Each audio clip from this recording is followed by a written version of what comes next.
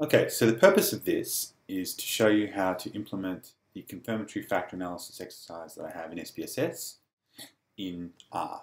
So I've downloaded the um, SPSS files in the zip file, so I'll just extract them. So delete that, and then let's have a look inside. What we have here is a data description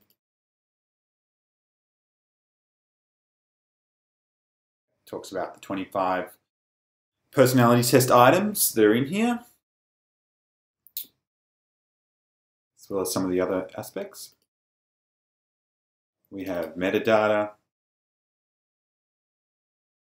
So here are the 25 um, items.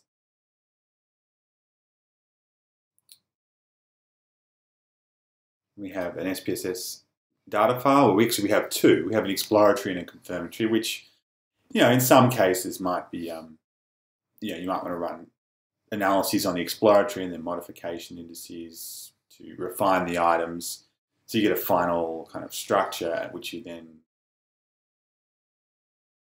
evaluate on a confirmatory data file. We have the instructions in here, um, which talks about what we're going to do. So essentially, the aim is to fit a number of different models on this data set. Um, so one factor model, five factor uncorrelated.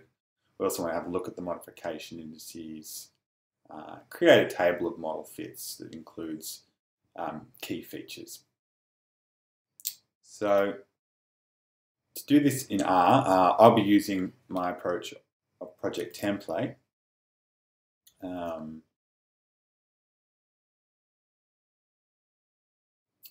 so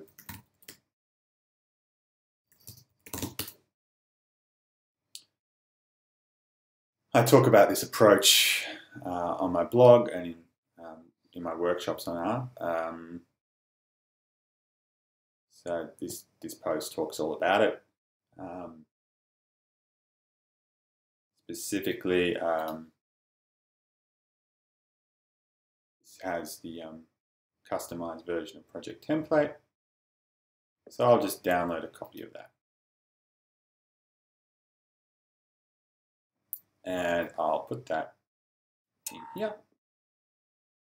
So that's just a zip file, which I then extract and um, give it an appropriate name, like uh, confirmatory factor anal analysis exercise.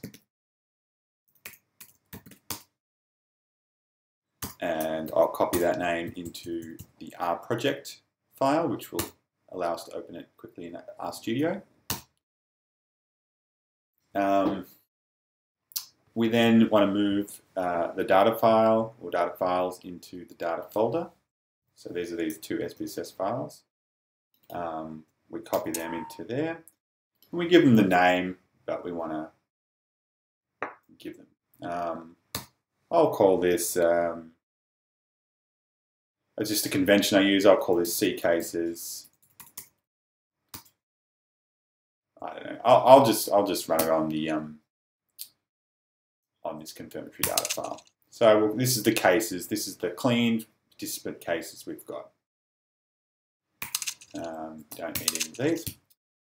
Uh, we have some metadata, so I might as well copy that, that in just in case we use it for any reason. Uh, it's a convention, I often call my metadata meta. And yeah, that will um, automatically import it into, um, yeah, import this information. This information has got information about factor scoring, uh, item text, reversal, and so on. Okay, so we've set a few things up. Um, I think if we uh, double click on this now, um, assuming you've got R and RStudio installed, um, RStudio should open up. And the nice thing about opening RStudio through this project file is that you will now be in um, the correct working directory, which is where this is, and you know you can see here in the file pane that you are in that uh, folder. So that's good. All right, so the first thing I want to do is uh, I'll go into reports and this RMD file. So this is where I'll work from. And if I run this line, library project template load project, it does a whole pile of things. Um, you can learn more about it in my specific post about project template, but essentially it's loading the data, running any initial data manipulations, importing relevant libraries, and configuring relevant options. So we can see that C cases and meta.personality has been added to the global environment. Um, so if I look at the first few rows of C cases, head C cases, uh, we can see that that looks like the data file that we would have seen, say, in SPSS. These are six rows of that data file, and we can see the variables up the top, A1 to O5, and a few demographics. And we can also see here, um, what else can we see? We can look at the dimensions of this It's got 1,236 cases, 32 variables. Okay, that's good. Um, the next things we might want to do is just um,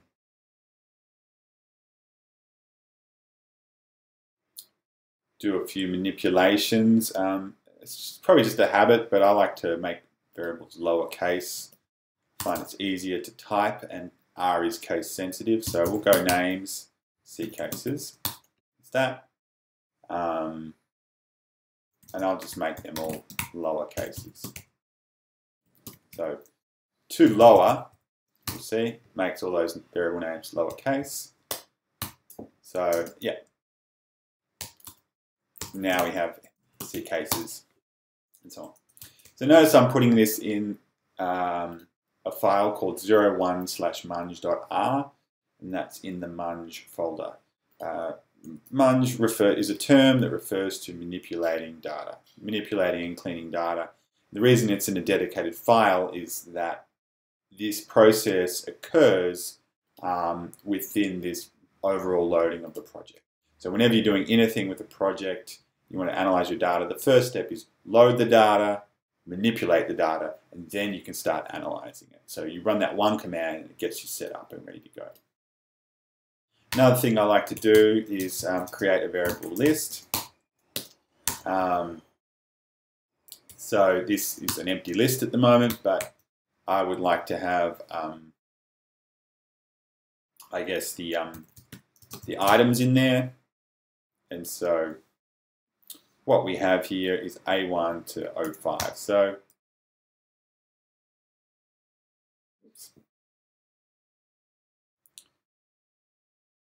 looks like we've got a bit of a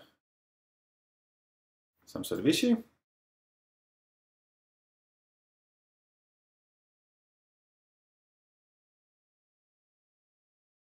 I'll restart it.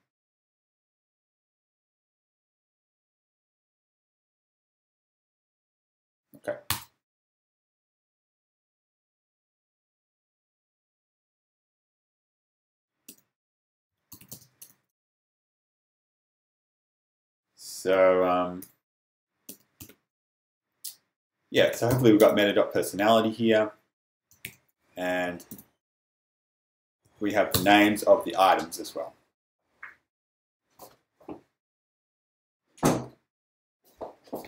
Now they're also uppercase, so we want to get that consistent. Um, so I may actually go into the Excel spreadsheet and ensure these names are consistent. So I'll go uh, equals uh, lower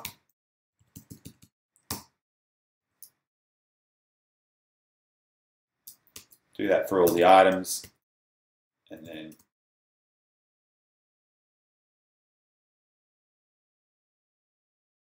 um, edit, paste special,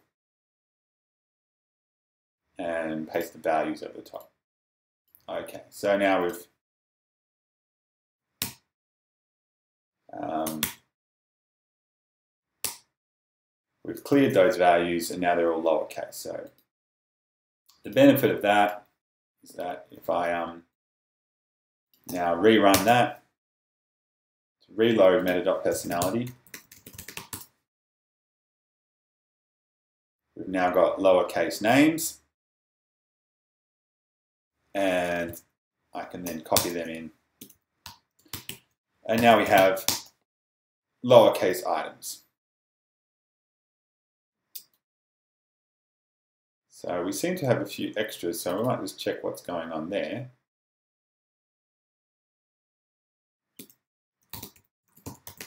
So we have a look at the dimension. It seems like it's got 31 rows, so it looks like it's importing some extra data from that. So let's open that up and just clear that stuff out of the way.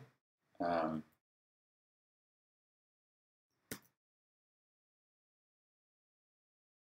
re-import all the data and then see whether that's disappeared.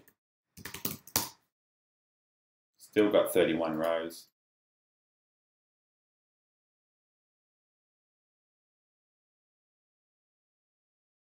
Um,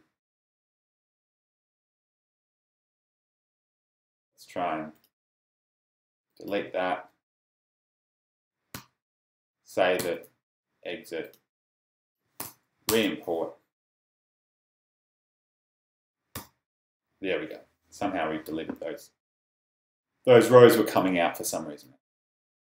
Okay, so now we have those personality test items stored in a vector, which is which is handy.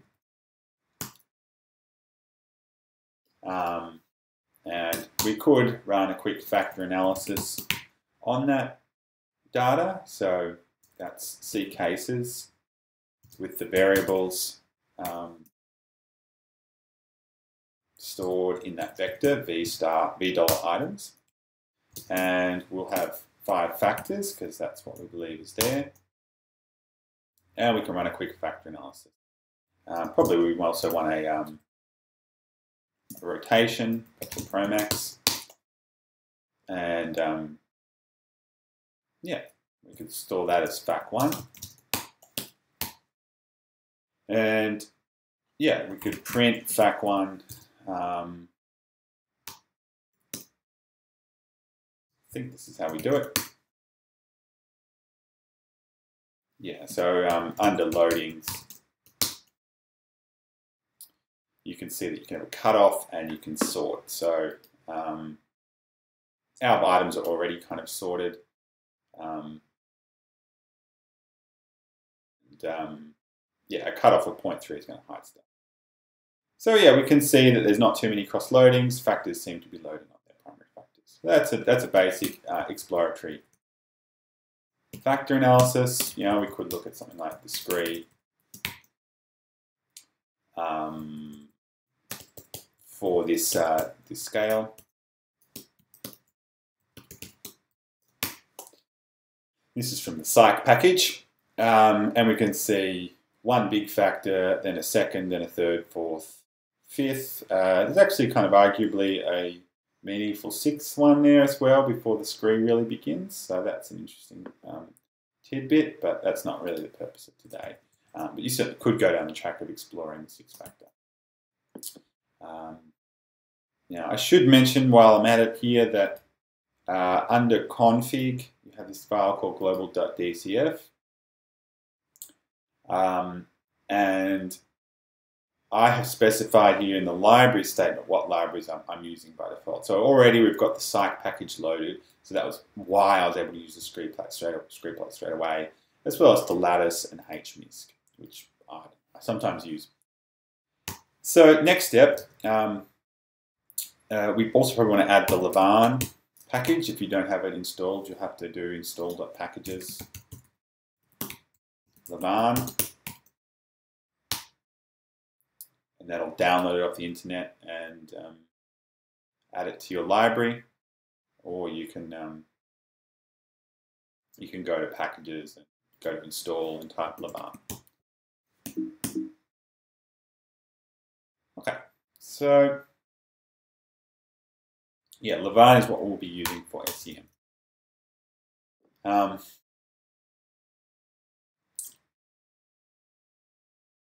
so next step, let's have a look at the Lavaan website.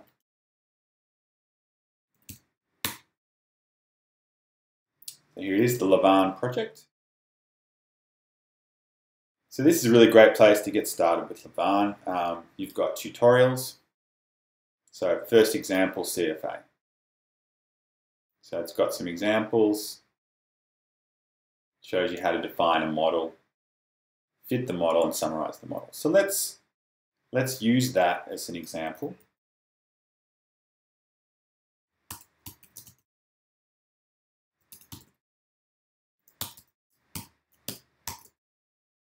And we'll get the rest of it.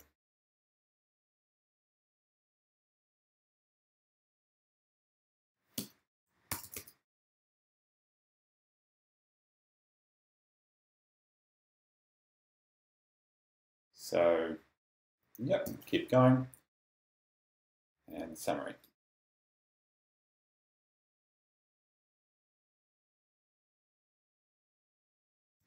Okay, so that's a good start. So we've got the idea that we're going to fit five, five models. Um, the first model I wanted to fit, um, perhaps we'll start with a five-factor um, correlated model. So if we look at the names of, um, the names of the items, we've got um, 25 items. Um, actually, to start with, I'll fit a global model. I'll fit a global factor model. So I'll call uh, uh, this um, M1. Well, actually, I'll, I'll call it. Um, let's do it. Let's create models. It's a list, and I'll call this models M1. That way, we can store the models in the list. So this is just going to be the first element of that list.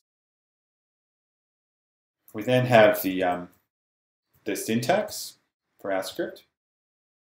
So on the left we have the factors, and then we say, you know, is assigned these three indicators. All right, so I'm going to say global, and you can see here we have to say each item A1 plus A2 plus A3 plus A4 and so on. So we could certainly do that, A1 plus A2 plus A3. Um, little trick maybe, we could do paste the items and then I think collapse equals uh, plus and there we go. Um, we've created um, that string. I believe uh, the constraint where the, if the approach whereby the an item is constrained to one and therefore defines the nature of the global factor is driven by the first item. So we may want to, if we wanted to ensure that the global factor is, say, a good personality, like an agreeable, conscientious, extroverted personality and so on, we may want to check that A1 is a positively worded item. And if we do that, uh, I think we say here, A1 is I mean, different to the others. Um, Yeah, so I think we can, I think we can formally specify like this, so where we go one times that, that item. So that changes. Okay, so I'll hide that little thing, it's not really core. We're then going to um, fit the model uh, so we've got models M1 using this CFA function. So this is a Lavaan.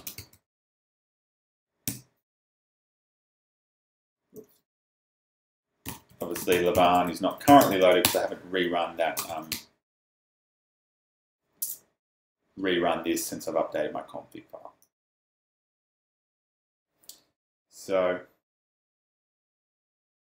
I'll also create a list of fits.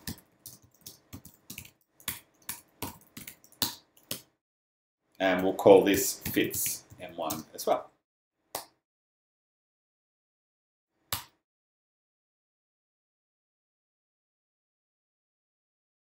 Obviously I've used the wrong data file, so we want C cases.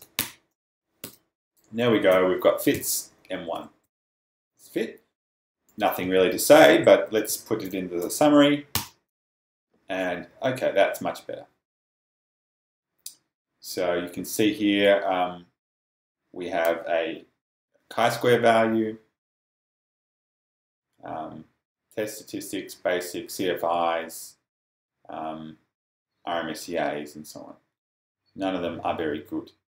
Uh, it looks like my approach of constraining A3 to 1 did not prevent A1 from being um, a positive number. So what I'll, there are probably other ways of doing this, so I'll um, move this around, and that'll just solve the. Okay, so we rerun that, and we check, and yes, A3 was constrained to B1, um, and we can see that A1 has now got a negative loading. Um, so yeah, if we wanted to interpret that, uh, we can certainly see that the fit's not great, but we could also see the loading of each item on the, the global factor. Now, by default, it looks like we've got uh, unstandardized estimates, which are fine, but uh, we may want to get the standardized estimates. Now, uh, I have a Lavaan cheat sheet, which is quite nice, I think. Um, so yeah, you can get um, the uh, standardized solution by going to here. We put the, um, the fit object into that argument, and there you go. You've got um, standardized uh, estimates of each item's loading on the global factor. And you can see that every item, well, some more, some less. Looks like the agreeableness items might be a little larger. Conscientiousness is quite high. Um, most things are pretty high in terms of standardized loadings. Perhaps a few of the agreeableness items are a bit weak. Okay, so we've successfully fit uh, a global factor. Um, Okay, so what about a five-factor model? How do we get that? So let's call this, um, you know, the five-factor um, five-factor model. I think we'll have to specify or not specify correlations between factors um, in the CFA call, which is a little bit different to um, what's done in AMOS. So what we need to do is say something like agreeableness equals um, equals tilde. And then we'll, well, let's copy all this down and we'll break it up. Make it pretty so it's aligned.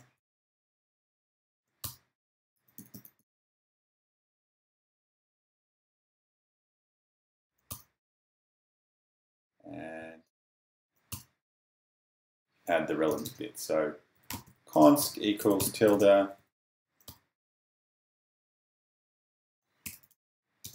extra equals tilde neuro neuroticism equals tilde openness equals tilde. Okay, so that's that's good. Um, as I said, we need to check that the first item is positively worded for the scale. So, conscientiousness, I'm excited in my work. That looks good, that's conscientious. Don't talk a lot, that's not. So, find it difficult to approach, that's introversion. Know how to captivate people. So, we'll just move E3 into the first position. So that gets the um, the one, the constraint unstandardized loading of one, so that the directionality is captured. Get angry easily is fine, and full of ideas. That's good. Okay, so now we've got model model two, um, and I guess model that, that's kind of the same as well, just for I don't know, just for sort of consistency. Um, it is the same. So what we're wanting to do here is say M2, if this was uncorrelated, we're going to use this um, and then I think there's orthogonal equals true. You can read the help on this, but by default orthogonal is false, so we're allowed correlated factors, but you can make orthogonal true, so that allows uncorrelated factors. So we'll have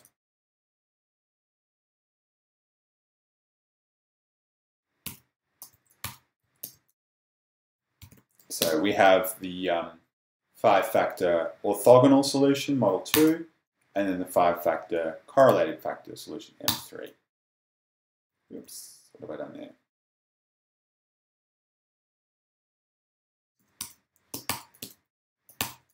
Okay. Um, so we could then repeat this process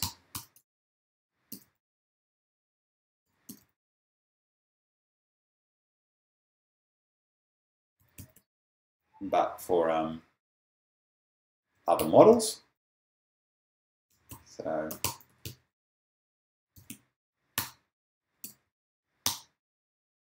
So there's the summary of Model 2. Um, and, you know, we've got various fit information. Um,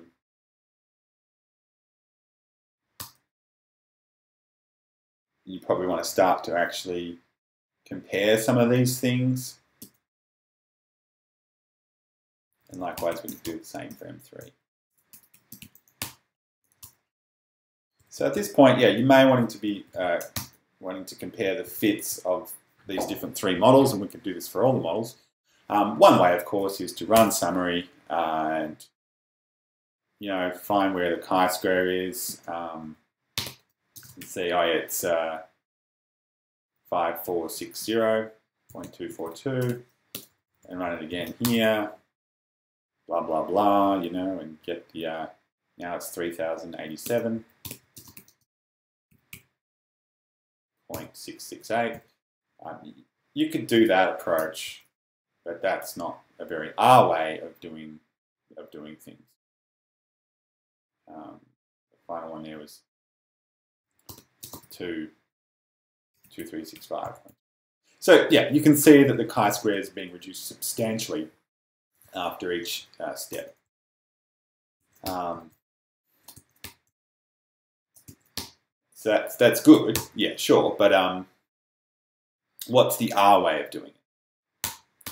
So if we go back to this cheat sheet I pulled up before, see how do you extract specific fit measures? Okay, there's a fit measures function. So fit measures fits M1. And you see it returns a vector of relevant um, information. So let's um, let's define the set of um, fit measures we're interested in. Which ones do we want to pull out? Um, so let's get the names. And I'll put it in dput, which puts it in a nice little string that I can reuse. And that's the set of all kind of things I could potentially want to extract. Um, and I'll store it in a sort of general place. So, so we might want to reuse this. Um, so I'll call it the um, fit indices. So these are the fit indices I want to keep.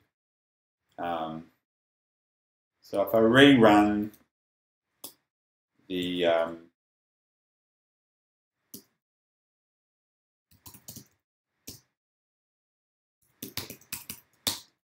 that can just remind us what each of these things is doing.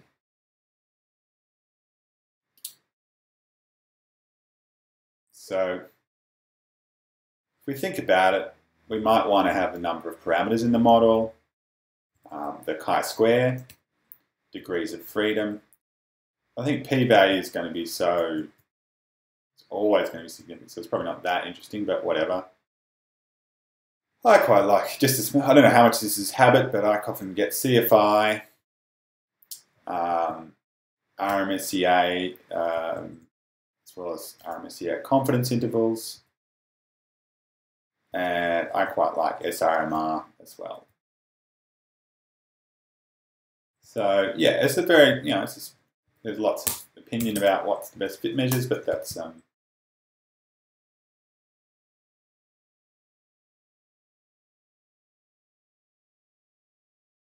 um, yeah. Okay, so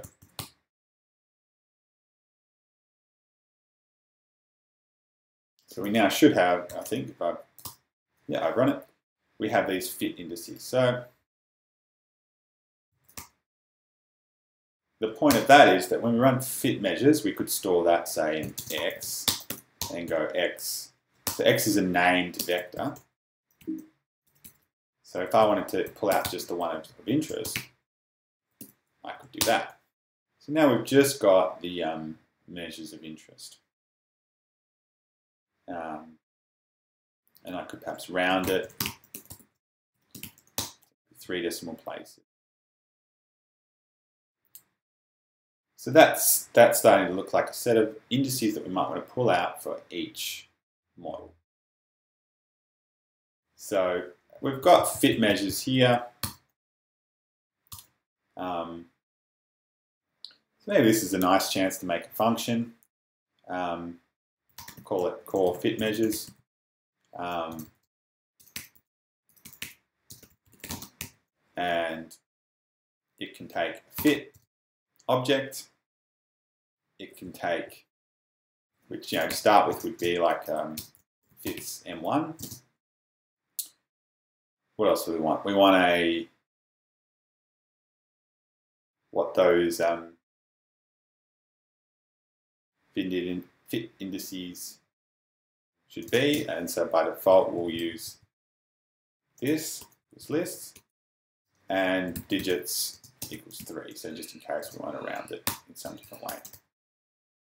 And all we're going to do here is going to take, take that code we just wrote and make it general. So we're going to place the actual literal fit object with the general term fit, which is the argument to the function.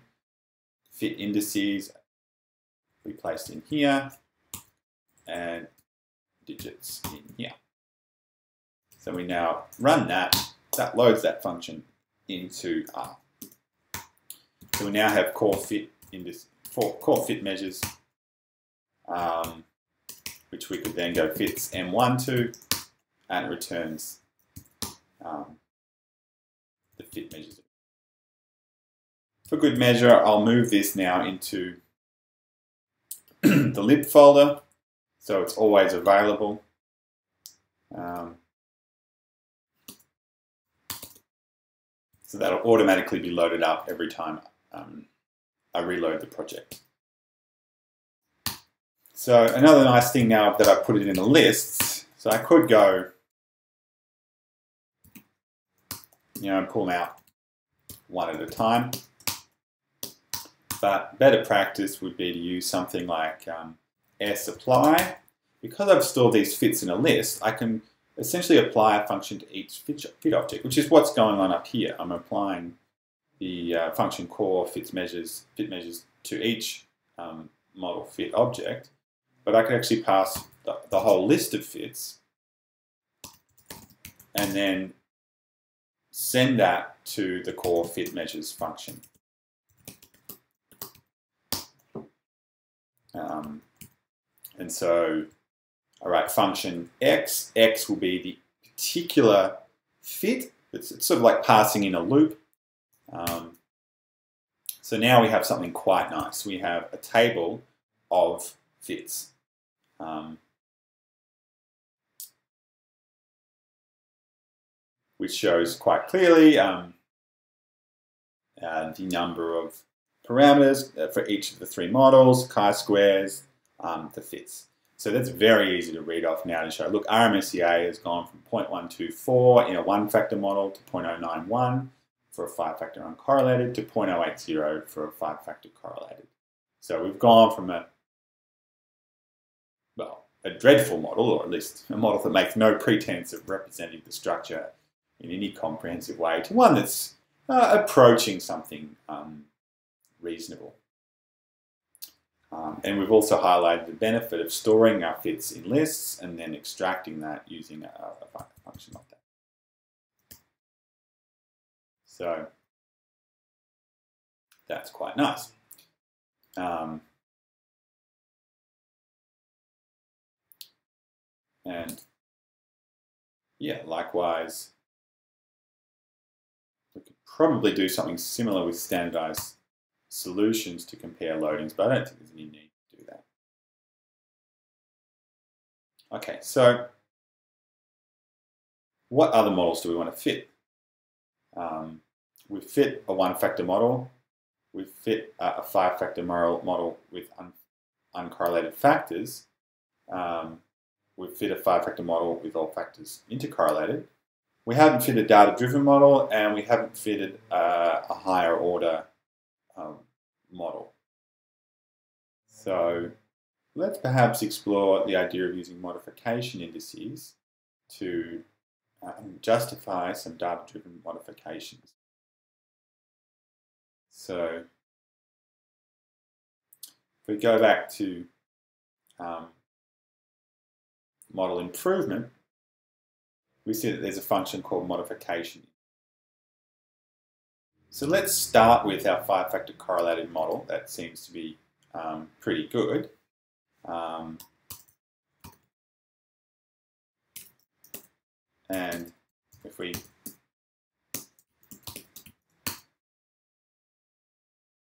do that, on that, we can see that we get some modification indices, a lot of them, a lot, lot, lot of them.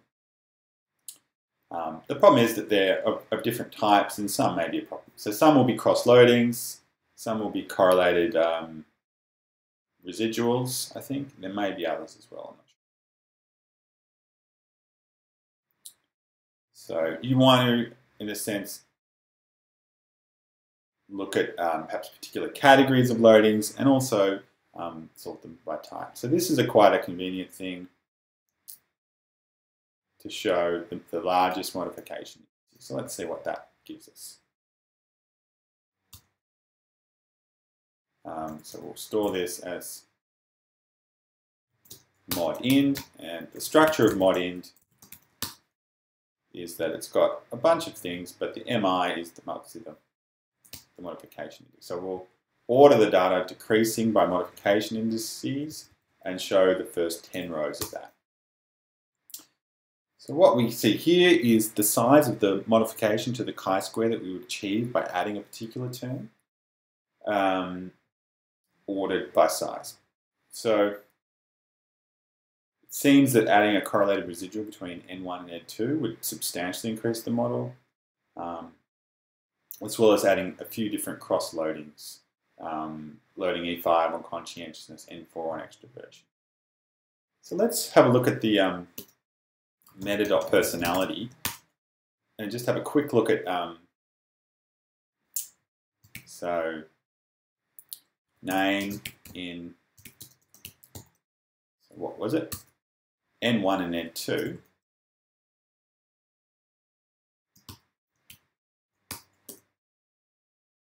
we'll just we'll just pull out those two um, rows and we see that the two items are get angry easily, get irritated. So that's they're clearly very similar worded items. Um, if you compare that to other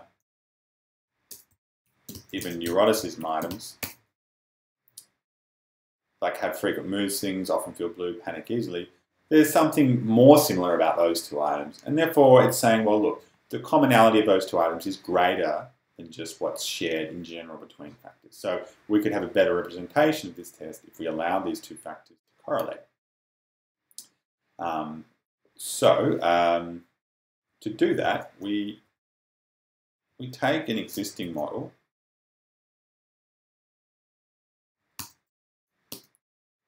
we'll call this model 4 and we essentially need to allow these two factors uh, to correlate. So we're going to say, could add some comments saying correlated uh, residuals and we'd have N1 is correlated with N4. So if we go to Lavaan, the Lavaan website, and the tutorial,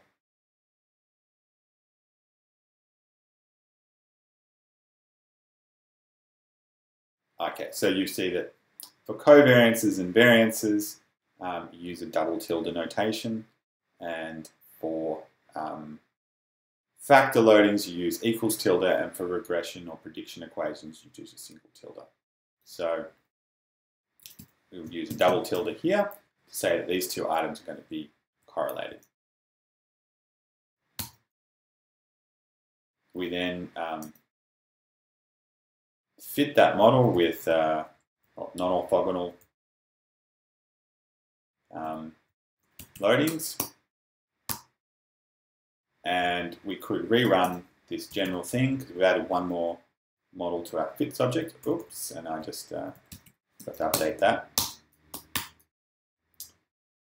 And we can see here that by adding that um, correlated residual, our chi-square has improved from 2365 to 3.316. So if we just do an ANOVA fits um, 3 fits M4, we can do that more explicitly. Um, and we can see that the chi-square has changed by 48.6. Um,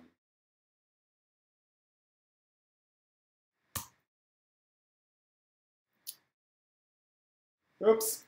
So going back, I've clearly added the wrong one. So I should have correlated N1 and N2. So if I do N1 and N2, and um, rerun that, then we see that the model is improved by 148.91, which when we looked at modification indices, still it's not quite that, so that's intriguing. Um, I was expecting to see that the change in chi-square would be the same as the modification. Um, so that's um, something for me to understand better. But certainly the, um, the model has improved substantially.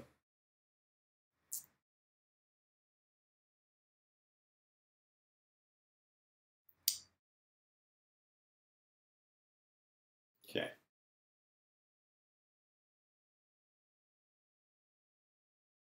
Um,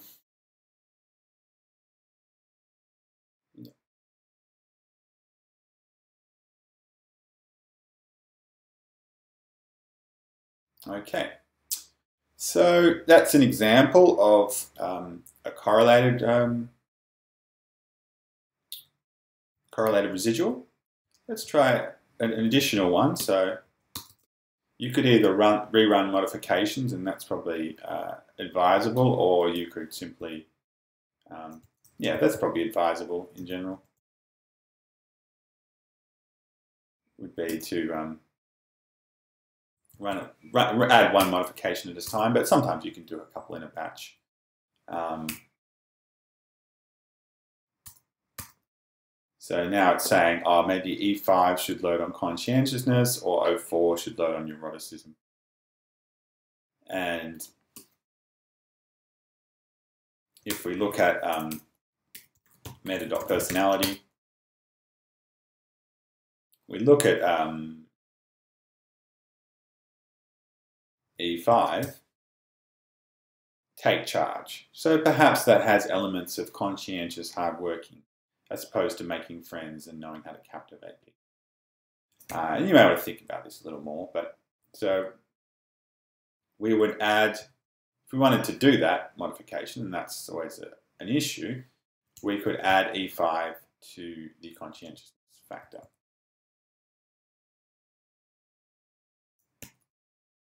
So we'll call this model model 5 and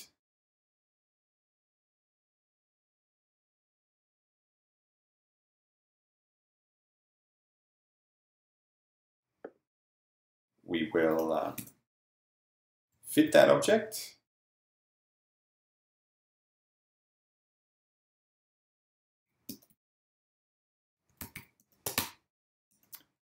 Um, and then we'll rerun this uh, sapply to get all our bits. So we see that now we've got our RMSEA down to 0.076 from a 0.08. So it's starting to approach rules of thumb that would suggest a reasonable model. And certainly if we would persist with, say, a, a, large bunch of sort of additional good correlated residuals and so on, we could probably get it to a good model. Um, now, whether that's all appropriate and what that says about the test, that's sort of a, a, much broader theoretical question. But that's the that's the process by which you could um, introduce additional modifications. Um, and you can in particular, you notice the check I've done to check that these things make theoretical sense. Okay, so the final thing um, that we have is to get a global model. So I've never done this before, but let's see if we can, let's see if it's straightforward. Um, for simplicity, I'll, um, I'll build it off um, model 2 because um, be interested. It, it, there may be some. I don't think it'll really matter to have cross loadings or residuals in a global model, but we'll just keep it simple for now. And so what we're saying is that global um, has these items, these latent factors loading on it. Um,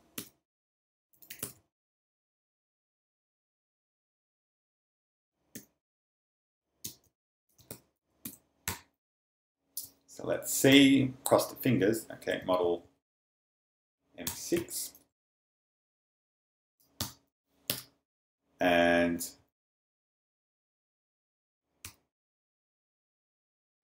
not sure whether CFA will work. Um, don't think agreeableness to openness are now um, exogenous variables, so this argument probably won't matter now. Um,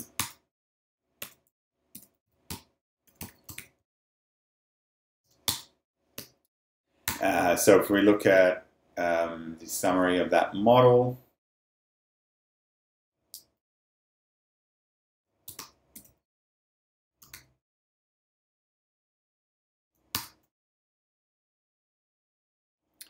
um, we can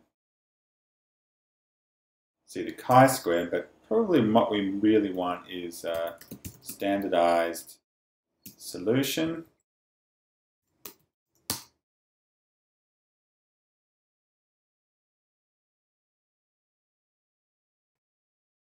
Ah, I see. Sorry, I've got this wrong. Okay, I'm not sure. So we now have the loading, standardized loadings of each factor on the global factor. Um, so we can see that neuroticism loads negatively, which is as we would expect. Agreeableness, conscientiousness, extroversion, openness are all kind of in the positive direction.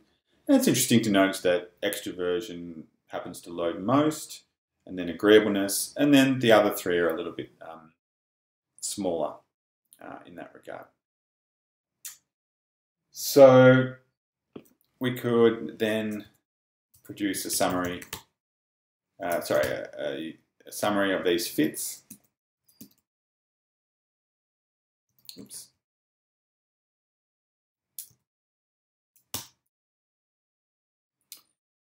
And that's effectively our uh, table of results. Um, and it's interesting to see whether, say, like a, a one factor solution, which is M6, how that compares to M3. Um, in terms of whether you know having unique correlations.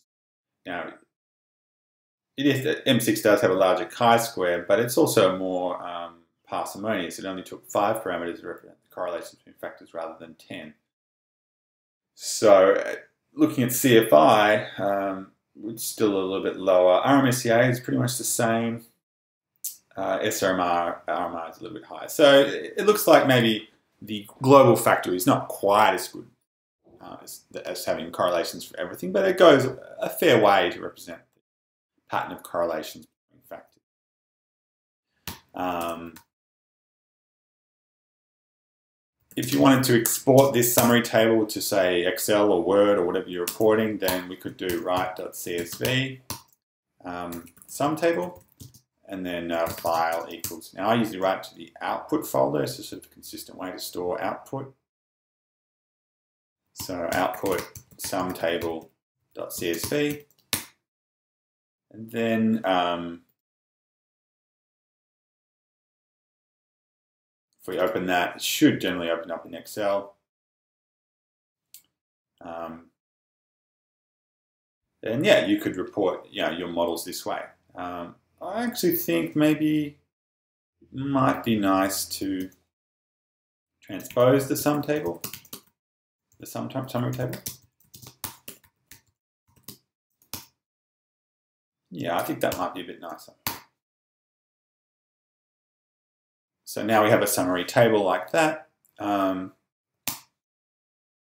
you could add information like um, one factor model, uh, two factor, sorry, five factor uncorrelated, five factor correlated, five, five factor correlated with, you know, one mod. Um, this was with two mod modifications and a global factor model. Uh, you can then you can potentially tidy it up in here. Think about what decimal places you want. So I don't know, chi-square is probably um, one decimal place is enough.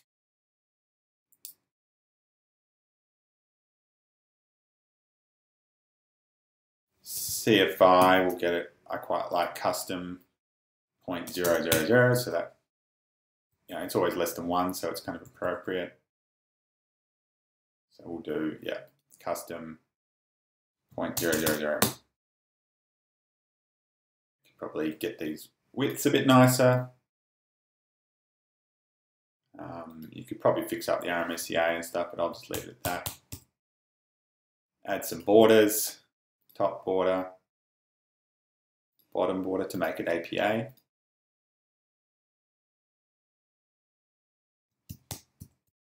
And yeah, you could probably actually probably should save this as um, I often have a file called output processing, just where I store any of this sort of manipulation. You know, you just copy your CSV into here and, and do all your kind of edits. Um,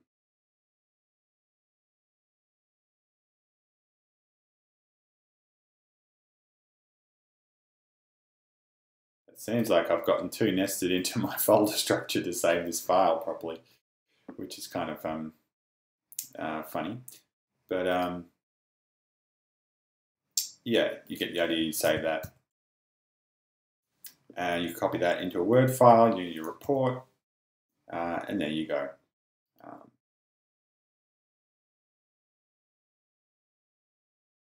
I guess you'd uh, auto fit to the window or whatever it is we'll make it uh, make it uh, landscape. Okay, so I, think that's um, that's all I've got for today. So there you go. That's how you confirmatory factor analytic models uh, with that.